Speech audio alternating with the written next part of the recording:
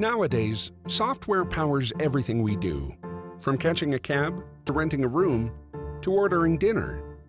Software has changed nearly every second of every day. At the same time, that software is generating billions of really interesting metrics and useful insights. Of course, all that data is the most useful when you can act on it quickly, not tomorrow, not next week, but right now. Unfortunately, there hasn't been a way to collect and understand all that data in real time. Introducing New Relic Insights. Now you can have an active conversation with your software by querying billions of real-time metrics in seconds. Getting answers this quickly lets you dig deeper and ask even more questions so you can make better data-driven decisions.